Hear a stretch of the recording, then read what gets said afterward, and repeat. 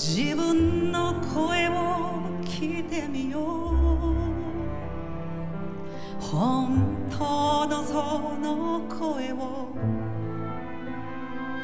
信じる勇気が答えになるから。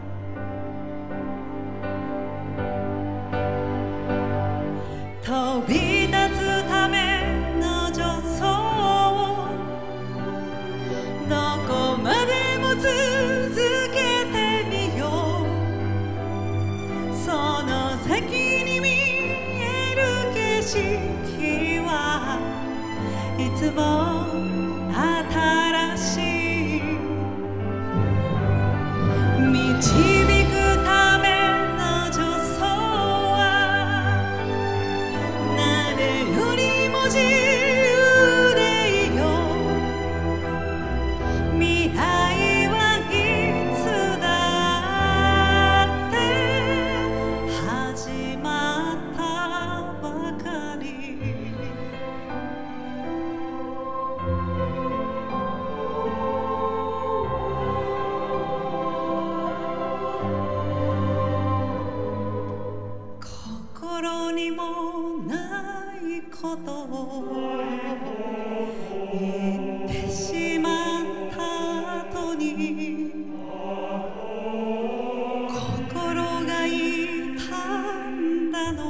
Amen.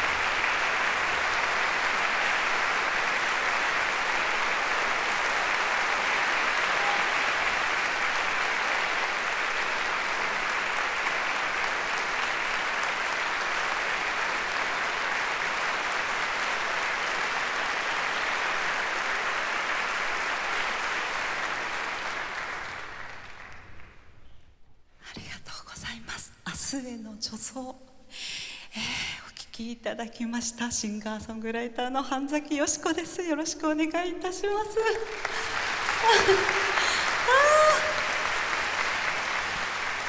がとうございます。明日への助走は教育芸術者による中学生の音楽の教材に掲載していただいております。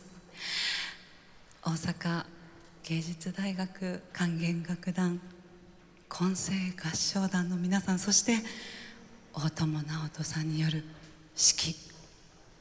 いや先ほどリハーサルをしたんですけれどもリハーサルの何倍ものパワーを今背中で感じておりましてやはり目の前にお客様がいらっしゃるとこんなにも引き出されるエネルギーの量が違うんだなっていうのを実感しておりました。もしくは地元大阪だからなのか本当にあのなのでねコロナ禍でこう発表の場が限られているえそんな中で出番を待っていたこうエネルギーたちが一斉に溢れ出してみずみずしい歌声演奏え、私はその皆さんの演奏歌声にこう感化されて自分の持っていなかった歌声を引き出してもらったような感覚がありました。